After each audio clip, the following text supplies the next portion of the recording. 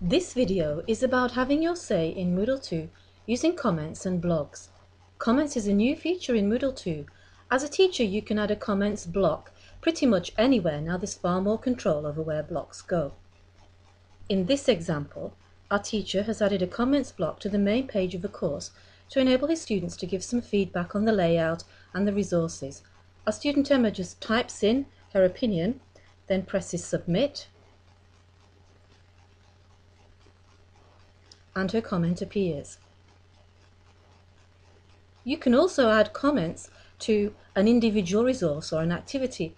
In this example, our teacher's put up a PowerPoint, and if you look down on the right hand side, he's added a comments block with a not particularly complimentary comment from one of his students.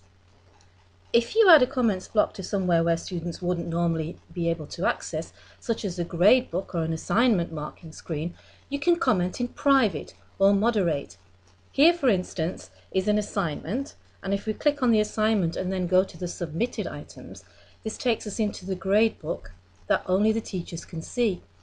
And our teacher has added a comments block there so that he and his colleagues can discuss the severity or the leniency of the marking out of the view of the students. So that's moderation for you if you like. Blogs are much improved in Moodle 2. You can get to your blog from the navigation block my profile, blogs, where you can see all of your entries and you can add a new general entry. But a blog can also be attached to a specific course.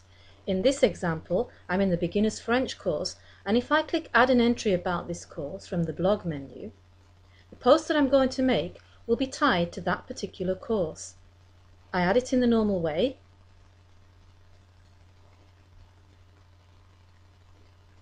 Note again that I can add attachments, I can make it a draft or I can make it public as before, and I can add tags. But what's interesting is at the bottom, associations, it has tied this particular blog post to the French course.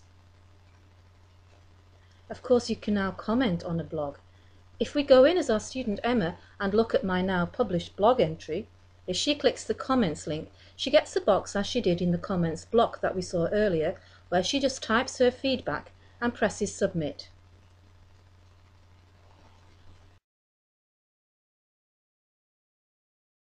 It's now possible to import into your Moodle blog posts from outside of Moodle, such as WordPress.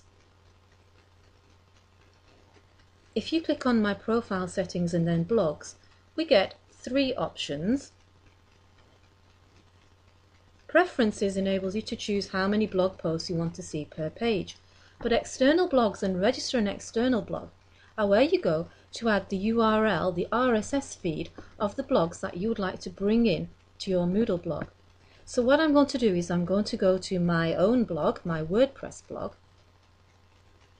and I'm going to scroll down and I'm going to find the RSS feed for it and then copy and paste it into the screen of the register an external blog in Moodle 2.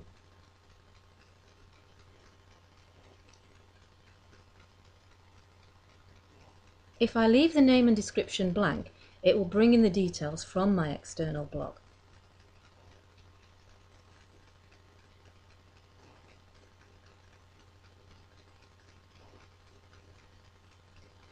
And now you can see that it's given me the list of the blogs that I have brought into Moodle from outside.